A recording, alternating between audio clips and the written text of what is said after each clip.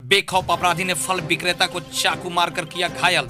हालत बनी नाजुक। पटना सिटी के चौक थाना क्षेत्र के सब्ज़ी मंडी में फल विक्रेता अजय चौधरी को मामूली सी विवाद में चाकू मारकर बुरी तरह घायल कर दिया है।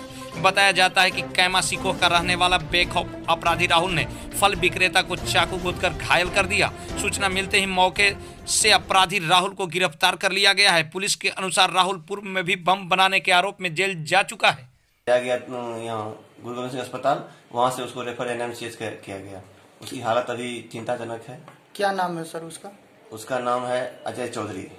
कहाँ के रहने वाले हैं? ये डंका कूचा खारीकला थाना का। इसका कोई आपराधिक इतिहास भी रहा है? इसका अपराधिक इतिहास अभी नहीं अभी तक नहीं मालूम पूर्व में भी बम बम बनाने में इसका हाथ डैमेज हुआ था। बम नहीं बनाते सर बम नहीं बनाते ये बम बोला बम अति खोद रहे थे उसमें इसका हाथ डैमेज हुआ है। ठीक